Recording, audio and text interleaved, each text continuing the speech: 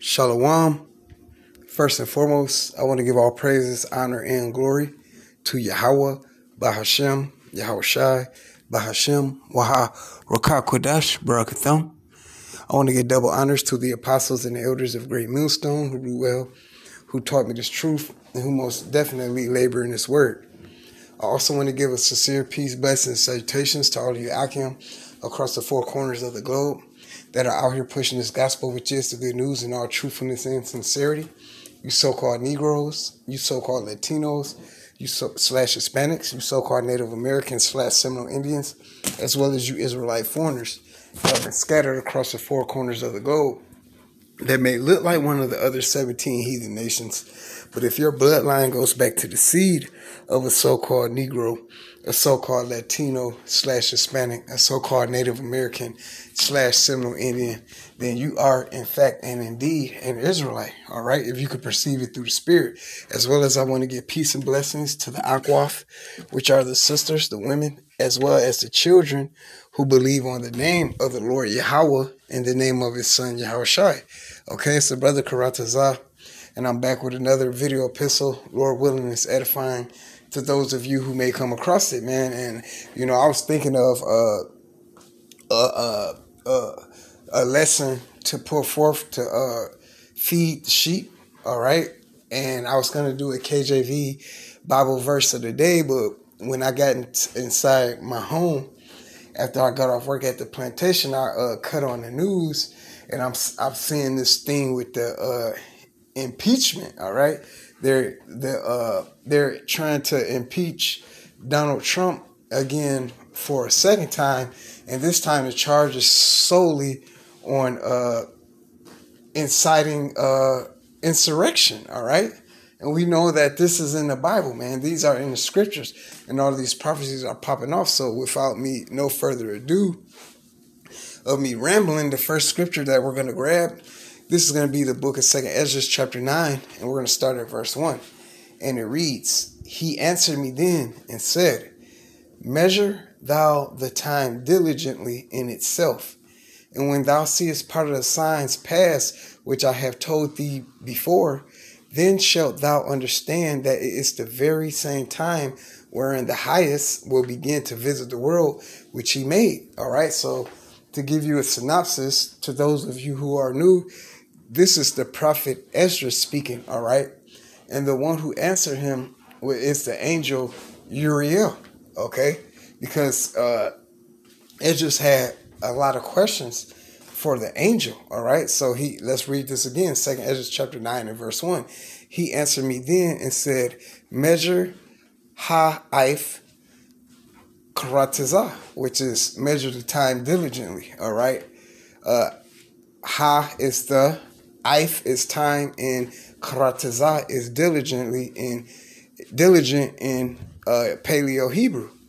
And when thou seest part of the signs pass, which I have told thee before, then shalt thou understand that it's the very same time wherein the highest will begin to visit the world which he made. All right, and the Heavenly Father, Yahweh, he created the blueprint and he gave it to his firstborn, Yahweh Shai, whom the world ignorantly calls Jesus Christ, and Yahweh Shai with his elect uh, Alahayim, all right, elect men, those elect angels, those powers, hey, they went forth and they created this world, all right, this earth, all right, as well as many other planets, okay?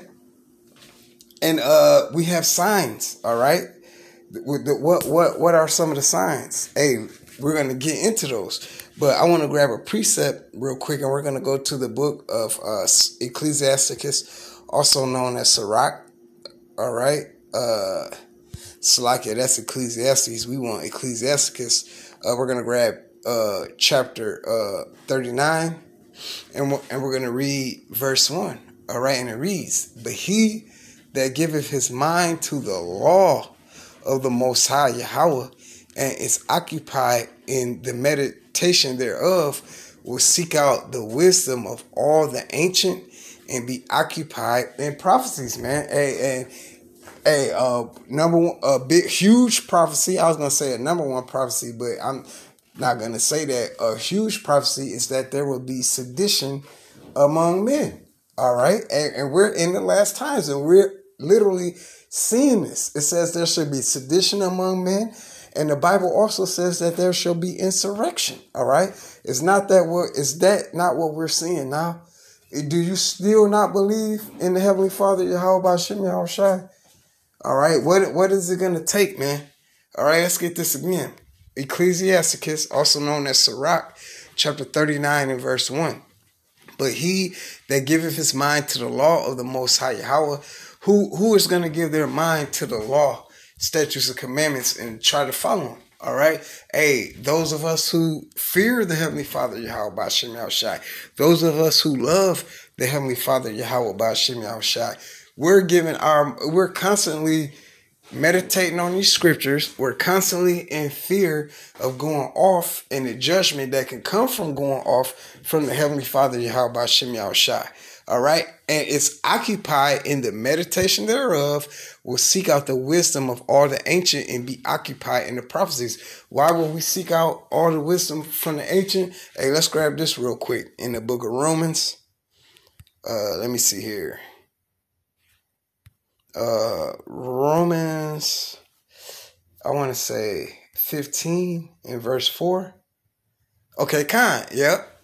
And it reads, For whatsoever things were written aforetime were written for our learning, that we through patience, all right, and comfort of the scriptures might have hope. All right. So, hey, that we through patience, all right, suffering, all right, and comfort, because the scriptures are a comfort, all right, onto us, might have hope. All right. Hey, let's grab this real quick.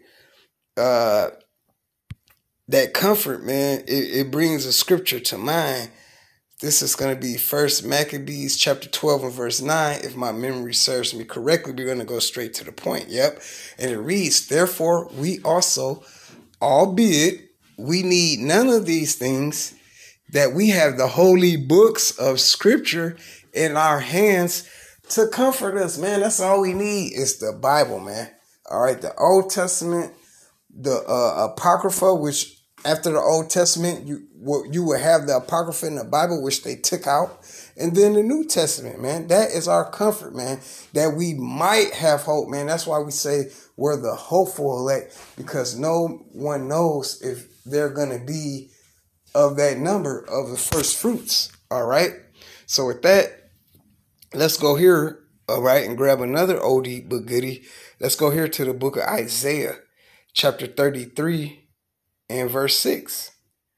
And it reads, And wisdom and knowledge shall be the stability of thy times and strength of salvation. The fear of the Lord Yahweh is his treasure. All right. That's why I said, uh, if a person was to rewind this video, I said that we love the Heavenly Father Yahweh Shemel Shai. But before that, what did I say? What came first though? The fear of the Heavenly Father Yahweh Shemel Shai. Man, that's that's that's what you gotta have. All right. And under meditating on these scriptures, hey, if the Rakah the Holy Spirit, is working with you, hey man, you're gonna be stable in these times because we're all about to go through it, man. All right, everyone is going to be tested. Okay, some people gonna flunk this the test in the next two weeks. All right, some of you done already flunked by taking that vex that vaccine. All right, that poison being injected, and if you took that uh vaccine What's gonna stop you from taking that RFID microchip, the mark of the beast? All right, spoken of in the book of Revelation. What's gonna if you if you let them put that shot in you, that means you have you trust in Esau Edom system. All right. So that was the first step. What's gonna what would stop you from taking that RFID microchip? You're done. You're cooked. The Lord not dealing with you, man. All right. Hey, that's why we pray this, all right. Hey, those of us in the know, we pray this script. Hey, we, we hope the Heavenly Father does this. This is a book of Revelation, chapter 3. Because thou hast kept the word of my patience, I also will keep thee from the hour of temptation, which shall come upon all the world to try them that dwell upon the earth. All right. Behold, I come quickly. hold that fast which thou hast, that no man take thy crown. All right. And we have faith in the Heavenly Father because it was given to us as a gift. All right. Let's get this real quick. Ephesians uh chapter 2 and verse 8. And if you don't got this, then hey man, the Lord not supping with you, man. He not dealing with you. All right. Uh, this is the book of Ephesians, chapter 2 and verse 8. For by grace are ye saved through faith, and that not of yourselves. It is the gift of the Most High Yahweh, not of works, lest any man should boast. So you can't make yourself have faith. All right. If you can't make, oh, I'm, I got, no, the Lord has to give you the gift to believe on the name of his son, Yahweh Shai. All right. And to believe, in order to even believe on the Heavenly Father, Yahweh. All right. So with that, let's go back into this uh into second Esdras uh chapter nine. Uh and, and this time we're gonna go to verse three. Uh therefore, when there shall be seen earthquakes and uproars of the people in the world, man, it's so many earthquakes jumping off. Man, you don't even hear people speaking on the earthquakes no more you don't even hear uh which he could be a Jake. I'm not sure. Uh Dabu Seven. All right. He used to always speak on the earthquakes last year, the year before that. You don't hear none of that. You don't so much so many things are popping off. You don't even hear him speak on uh doing the earthquake counter no more. At least I don't. Okay. So uh with that, let's grab a precept to that. Okay. This is gonna be the book of St. Matthew. Uh, let me see here. St. Matthew chapter 24. And we're going to grab verse 7. All right, and it reads, uh, matter of fact, we'll start up. Uh, verse 6 And ye shall hear of wars and rumors of wars. All right. Hey, do, are we not here civil war? All right, is that not? I bet you that's trending, as people say if you typed in uh, Civil War, I bet you that would be trending. Okay. See that ye be not troubled, for all these things must come to pass, but the end is not yet. Hey, so going back to that Isaiah chapter uh, 33 in verse 6, wisdom and knowledge shall be the stability of thy times. Because, yeah, hey, I can only speak for myself. Yeah, I, I, I'm worried about the uh, future I'm worried uh, uh, about the outcome. I'm worried if the Heavenly Father Yahweh Shem Shai gonna beat me up and deem me worthy to uh, be on a chariot as a first fruit. Okay, but hey, what does what did it say here? Uh, for all these things, so like I'm gonna just start it over. Saint Matthew chapter 24 and verse 6, and ye shall hear of wars and rumors of wars. See that ye be not troubled, for all these things must come to pass but the end is not yet. For nation shall rise against nation, and kingdom against kingdom, and there shall be famines and pestilences and earthquakes in diverse places. All these are the, the beginnings of sorrows. All right, these are a all, all, the, all this man. It's famine over here. All right, if you gotta go, if you, I'm not saying those who are greedy and going, but if you're in a if you're in a situation right now to where you have to go to a food bank to get food, man, you're going through a famine. All right, you you you you're going through a slight famine right now. All right, and I'm not saying that to shit on nobody. I done got plenty of food boxes before. All right, so hey, don't. I'm not slighting you, but I'm just using that as an example. If you literally had to go to a, a food bank to pick up a food box and wait in line for hours, you're experiencing a, a famine. Okay? So, uh, with that, let's go back into the book, uh, uh, uh Second Ezra chapter 9. All right? And this time, we're going to read down to about uh, 6 And it reads in verse uh, 5 For like as all that is made in the world have a beginning and an end, and the end is manifest. Even no, we're gonna read now. Even so, the times also of the highest have plain beginnings in wonder and powerful works and endings in effects and signs. All right. And we got the signs right now. All right. This place, this entire world is crumbling before our eyes, man. And there's no, you can't put a band aid on it. There's nothing you can do. All right. And everyone that shall be saved and shall be able to escape by his works and by faith whereby ye have believed. All right. Because if you have faith, in something, you're going to do something about it. You're actually going to put in the work. All right. Shall be preserved from the said perils and shall see my salvation in my land and within my borders, for I have sanctified them for me from the beginning. Then shall they be a pitiful, then shall they be in pitiful case, which now have abused my ways, and they that have cast them away despitefully shall dwell in torments. All right. So hey, all of all of those who who were given a gift to believe on the Heavenly Father and and start off doing this work, but fell off. Hey, what did it what, what did it say here?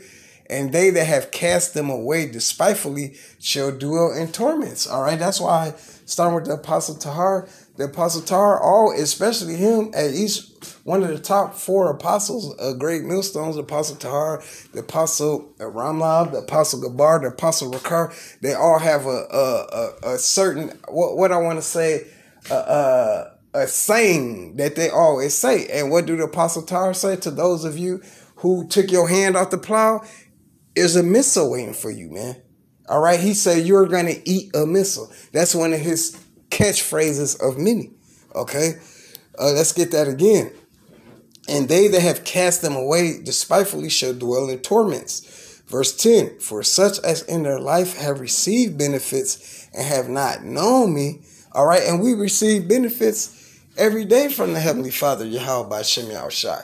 Hey, I, I, I, the Heavenly Father gave me a benefit just making it to work safe and, and, and making it back here to my home safe. Hey, that's a benefit, man. All right.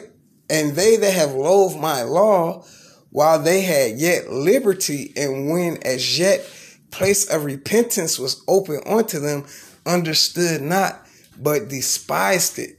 All right. Hey, the window of opportunity is steadily closing. All right. Hey, we're still, hey, YouTube is still up. We're still able to upload these videos. We're still able to go out on the highways and the hedges and prophesy. Hey, that window of opportunity is still open. Let's get that again in verse 11.